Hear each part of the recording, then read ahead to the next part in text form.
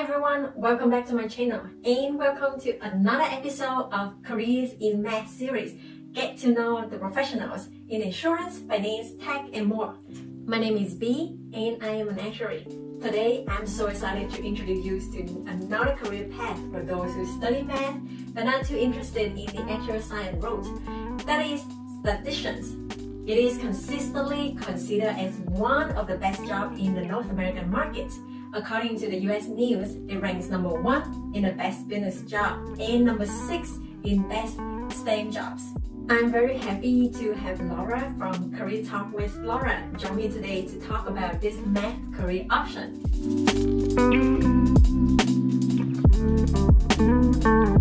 Hi Laura, thank you so much for being here today. Can you tell us a little bit about yourself? Thank you, Lee. Excited to be here. Hi everyone, I'm Laura and I currently work in credit risk model development. However, I like to think that I'm more of a coach at heart.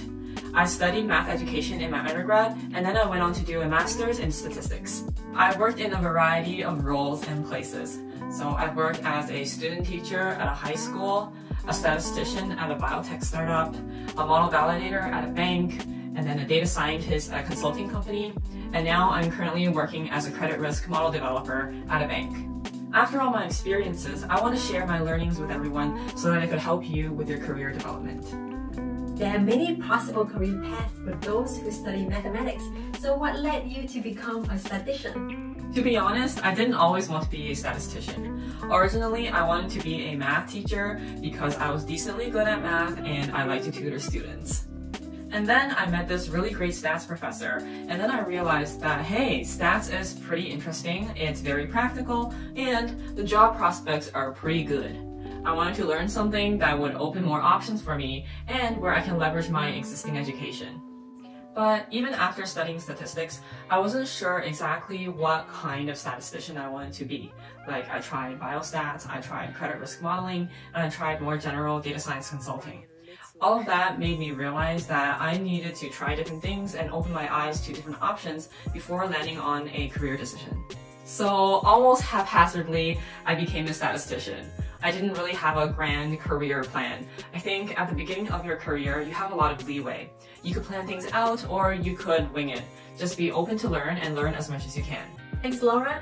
You have experience working in various companies from biotech to consulting to banking. I assume the working environments and the experience are quite different from one to another. So can you comment something about that? Oh man, yes, they're very different. These environments vary even by the team. I think in an organization, the working environment and the culture really depends on the team lead and how they choose to promote a certain culture. Even within the same organization, you can see vastly different cultures. Back when I was in the biotech company, I was the only statistician within my company, so it was very freestyle and I had to be the jack of all trades when it comes to anything to do with math or stats. I had a lot of autonomy and freedom in the methodology I used, and I often had to do research and consult online forums like Stack Exchange to ensure that I was doing the right thing. In the model validation team, there were a lot of standards and predefined procedures to validate models. I got a better sense of what industry standards could look like. Typically, each validator covered a couple of models on their own, so it's mostly individual work with some touchpoints with your manager. Your main point of contact would typically be the model developer whose model you're validating. Being model validators were supposed to provide effective challenge and maintain some level of seriousness or strictness. People were friendly, but not very open, and it is quite hierarchical. In the data science consulting team, the freedom level is similar to the biotech startup when it comes to choosing methodology. People generally work in teams and are quite open with each other. The work pace is a lot faster than in my previous roles, and sometimes it could get pretty demanding to deliver a project to the client on time. In consulting, you have to step up and take initiative. People worked hard and played hard. In my current model development team, we typically carry out projects in teams and people are generally open with each other. The modeling methodologies are generally standardized, so there is less leeway there compared to consulting. However, within this team, the teammates are all encouraged to step up and take initiative to contribute to the team rather than just follow the procedure. Even at entry level, you're encouraged to think about what problem is worth solving, not just to solve a given problem. You really have to think about why you're doing something and then understand your purpose. I think that's one of the things I find really great about this particular team. So can you describe your current work in the risk management? So what does a typical day or week look like for you? Sure. So the overall team develops and maintains credit risk models to predict credit losses that the bank may incur, which means when people don't pay back the money that they borrowed. We want to predict potential losses so that the bank can hold back some money in the case of a rainy day so that the bank can continue to run without running out of money. Model development is project-based, and each project could take several months up to a year. The models we build are typically data-driven, so model developers need to pull the data and then do a lot of data wrangling before fitting a model.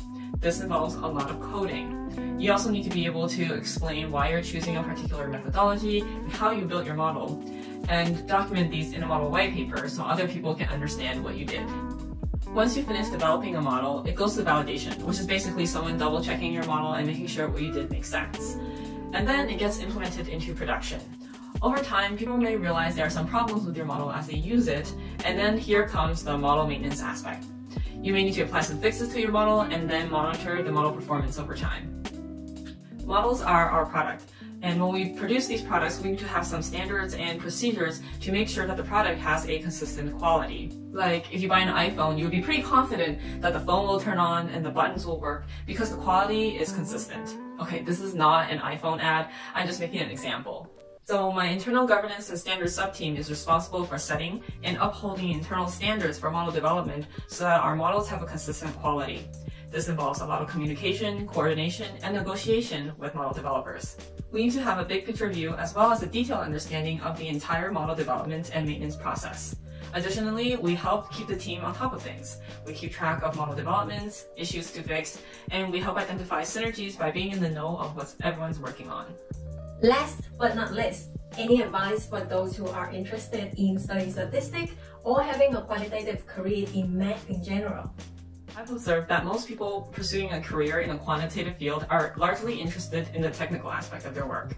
Being technically correct is one thing, but another thing to consider is the practical aspect of it. You need to understand the business context of your work, and at the end of the day, you need to deliver value. And value may not always be theoretical perfection.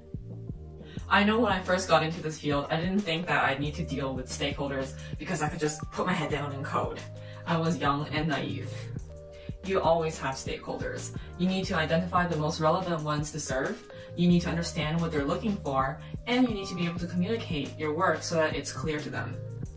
That was one of the most important lessons I've learned so far, and it made a big difference in my career. If you're pursuing a career in math, statistics, or a quantitative field, please consider this. I think this could be one of your differentiating factors. Great! Thank you so much for sharing with us your experiences today. I hope you understand a little bit more about being a statistician from today's video. Laura also recently started a YouTube channel called Career Talk with Laura, where she gives us advice on different career and personal developments, topics like networking, interview, what to look for in a boss, and all the good stuff. So definitely check out her channel for solid advice from a real professional professional.